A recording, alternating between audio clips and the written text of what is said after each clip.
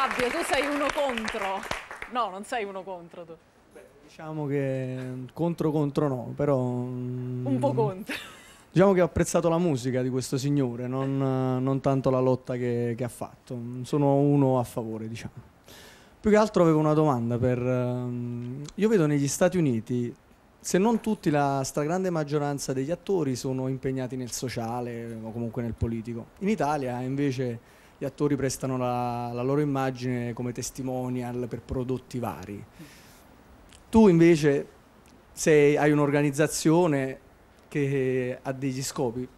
Ero curioso e penso anche tutti noi siamo curiosi di sapere di cosa si occupa questa organizzazione. Sì. Io mi leggo i soldi in pancia attraverso il Messico, che è pericoloso per andarli a portare direttamente. Eh, io ho cominciato la mia attività, allora diciamo che sempre pensato che ognuno di noi dovrebbe fare qualcosa, piccolo o grande che sia, ed è l'unico modo forse in cui questo mondo può, può cambiare. E mh, avendo avuto sempre una passione per, per gli indiani d'America, per i Maya, eh, ho trovato negli indigeni zapatisti qualcosa di, di, molto moderno e nella rivolta zapatista, perché hanno veramente cambiato qualcosa, hanno avuto una forza comunicativa incredibile, sono quelli che in realtà hanno soprattutto in ordine cronologico, cominciato eh, il movimento altermondialista, eh, sono stati i primi a, a, lottare contro il neoliberismo.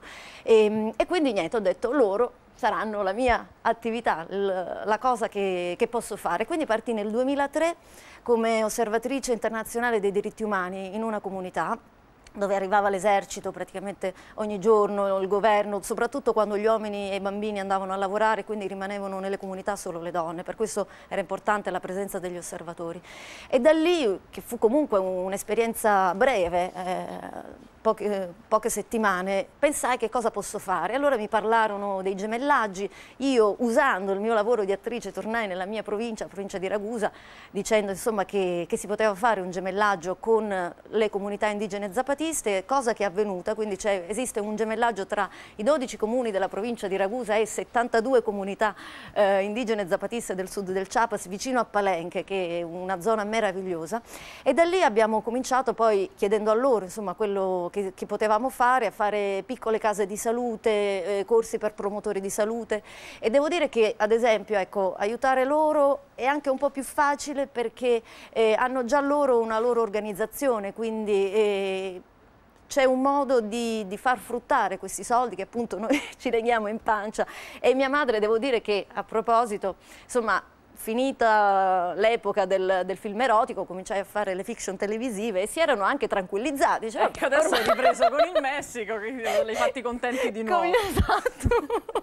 Ma sei l'unica, immagino, a degli attori italiani a interessarsi a questo tipo. Cioè, mi fa strano che così, ti occupi di, delle così direttamente sì, ma ti dico io alla fine se non avessi fatto l'attrice avrei fatto la documentarista, reporter di guerra, quindi ho sempre Ce avuto in realtà sì, ho sempre avuto questa cosa e, e, quindi ti dico per me il mio lavoro è, è quasi più un mezzo, ecco, grazie alla popolarità ho fatto fare il gemellaggio. Quando Jenny prende il microfono vuol dire che c'ha qualche cosa di fondamentale da dire? No, non, non, lo so, però ecco, volevo fare una domanda. Tu ci hai parlato con grande entusiasmo della tua esperienza, quindi ecco, con trasporto, l'abbiamo sentito, penso tutti quanti. E, ehm, ritornando al discorso di Zulu, cioè sul cliché che ormai è diventata, probabilmente sono diventate tutte le officine, tutti i centri sociali praticamente. Volevo sapere, secondo te, eh, dietro questi miti nuovi, questa eh, questa chiusura mentale poi diversa dalla cultura dominante, ma eh, probabilmente eh, diversamente chiusi sono i centri sociali. Ecco, secondo te non hanno perso un po' l'azione propulsiva che avevano prima di... Eh, Guarda, ecco, io la mia attività si svolge anche in Italia, ho partecipato a diverse cose, anche manifestazioni cosiddette movimentate, gruppi eccetera eccetera. Quindi posso dire che è vero che c'è una chiusura, è vero, e la cosa che io ho più rimproverato è questa, che se non sei esattamente, anche esternamente, esteticamente come loro, ti guardano con un po' di sospetto, però devo dire che, che fanno anche delle cose, cioè hanno aperto, che ne so, ti parlo della mia esperienza romana, eh, centri di informazione per gli immigrati, occupazione di casa, hanno dato tetti, un tetto ad intere famiglie, sia di emigranti, di migranti che, eh, che italiani, quindi c'è sempre quello che sta al centro sociale, che, si, che beve e si fa una canna, quello ci sarà sempre come ovunque, c'è chi dire, prende solo eh, la parte minore di una cosa, ma ci sono anche effettivamente ragazzi che fanno delle cose che rischiano, cioè io, io, pure ho rischiato diverse mazziate e, e credo che sia però importante che ci sia una protesta, che ci sia un dissenso, che, che, insomma, che ci sia gente che perlomeno ti ricorda che, che bisogna fare qualcosa, questo sì. Tu hai partecipato a Ballando con le Stelle, che rappresenta diciamo, il massimo della cultura nazional popolare, però allo stesso tempo sei impegnata in Messico a sostegno di queste comunità zapatiste. Non pensi che ci sia contraddizione fra queste due cose? Allora, Intanto effettivamente io mi sentivo un po' strana quando facevo i balletti e poi scrivevo le lettere alle autorità zapatiste e ho definito questo un periodo di pallottole e paillette. Ed in effetti era un po' strano, anche se poi in realtà come diceva Vasco, quello che so è che dentro di me è tutto logico. E in questa strana vita, da, dal film erotico a, alle fiction, alle, ai balletti nazional popolari, ai disobbedienti, in realtà poi c'è un filo che come dire, che mi fa capire, cioè io che ne so, alla vita in diretta da Cucuzza parlavo dei, degli zapatisti e quindi boh, forse serve a questo, forse questa mia strana vita serve a parlare di certe cose in ambiti dove se no non sarebbero mai arrivate.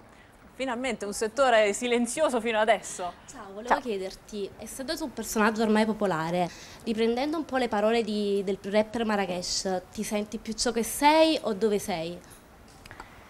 Ma io mi sento di essere diventata quello che ero da sempre, da piccola, dentro. E c'era una frase che diceva sei più te stesso quanto più somigli all'idea che avevi di te. E quindi il bene e il male che ho incontrato mi hanno aiutata a diventare quello che, che volevo essere. C'è stato un momento in cui stavo per perdermi, poi invece... Cosa hai fatto per non perderti? Beh, la vita mi ha, mi ha fatto fare gli incontri giusti.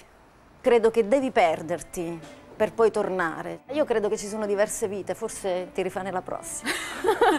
Finiamo con questa cosa di multivita di Loredana Cannata che ringraziamo per essere stata con Grazie noi. Oggi abbiamo parlato di temi grossi, signori.